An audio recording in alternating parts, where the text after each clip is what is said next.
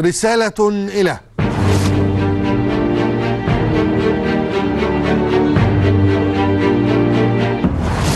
رسالة إلى نواب مصر أعضاء البرلمان 596 عضوا أو ربما 596 إلا واحدا حيث آه، تجرى انتخابات في إحدى الدوائر الخالية.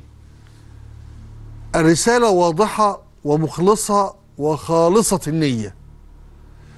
كيف يمكن أن يصدق الشعب عموم الشعب المصري الذي انتخب هؤلاء النواب أو انتخبكم أنكم قادرون على الدفاع عن حقوق الشعب بينما أنتم كل يوم معرضون من رئيس مجلس النواب الدكتور علي عبد العال إلى هجوم مروع وإلى تهديد مستمر. فكيف نأمن أن تدافعون عن الشعب وأنتم لا تستطيعون الدفاع أصلا عن حقوقكم وعن أنفسكم.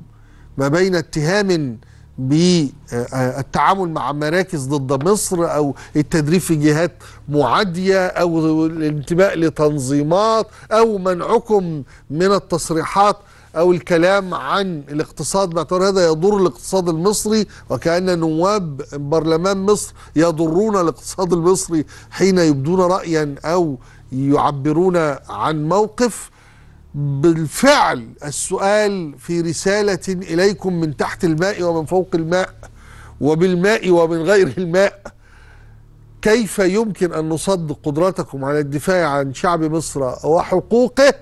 بينما أنتم لا تقدرون على الدفاع عن حقوقكم أنتم شخصيا.